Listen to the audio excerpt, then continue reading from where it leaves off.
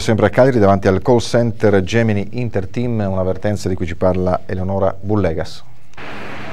I 450 lavoratori del call center cagliaritano Interteam lanciano un appello alle istituzioni perché non vadano in fumo 10 anni di lavoro. La loro sorte si deciderà venerdì prossimo. I vertici aziendali hanno spiegato stamattina a Cagliari il segretario provinciale della Fistel Cisla Alessandro Milia e il responsabile sindacale per la CGL Michele Spanu hanno annunciato che venerdì i dipendenti dovranno scegliere il loro futuro. Le alternative sono due, o lo scioglimento coatto con la dimissione del presidente relativo al licenziamento dei lavoratori oppure la risoluzione volontaria della cooperativa con l'integrazione dei lavoratori in Gemini. In quest'ultimo caso però, precisano i due rappresentanti sindacali, ci sarebbe la possibilità di essere assunti part-time per appena 25 ore settimanali e con uno stipendio di poco più di 500 euro.